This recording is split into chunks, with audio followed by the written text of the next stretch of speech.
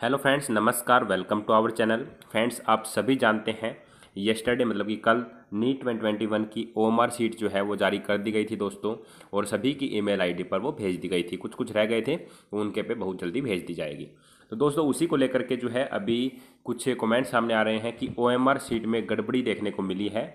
वो कमेंट्स क्या है दोस्तों? ऐसा बोला जा रहा है कि पहले जो है आपके नंबर ज़्यादा बन रहे थे, लेकिन अब जो है कम नंबर बन रहे हैं और कुछ क्वेश्चन के आंसर जो आपने दिए थे, वो क्वेश्चन के आंसर ही वहाँ से गायब कर दिए गए हैं आपकी ओएमआर सीट से।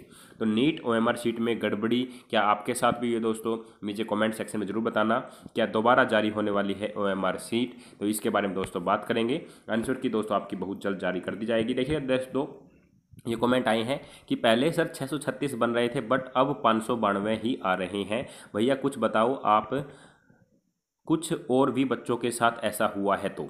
मेरे ओ एम सौ छियासी से 200 तक फील ही नहीं है, कुछ समझ नहीं आ रहा है। भैया, कि ये कैसे हो गया, हमसे छूट गया या ओ एम आर ही गलत आ गया है? और आगे लिखा गया है दोस्तों, मेरी ओएमआर में गलतियाँ की है एनटीए ने सर, मेरी ओएमआर शीट में कुछ क्वेश्चन एम्पटी दिखा रहा है, जबकि मैंने सभी क्वेश्चन किए थे। इसके बाद दोस्तों नेक्स्ट है ओएमआर में बहुत बड़ी मिस्टेक है सर मेरा स्कोर कम बन रहा है, चार से पाँच क्वेश्चन के आंसर डिफरेंट कैसे हो गए हैं? तो दोस्तों, ऐसे कमेंट आ रहे हैं तो आप सभी जो है ये बताइएगा कि किस किस के साथ ऐसा हुआ है? अगर दोस्तों ये बड़े लेवल पर हुआ है तो ज़रूर आवाज़ उठानी पड़ेगी और हो सकता है अगर बड़े लेवल पर हुआ है तो ये दोबारा से जारी भी हो।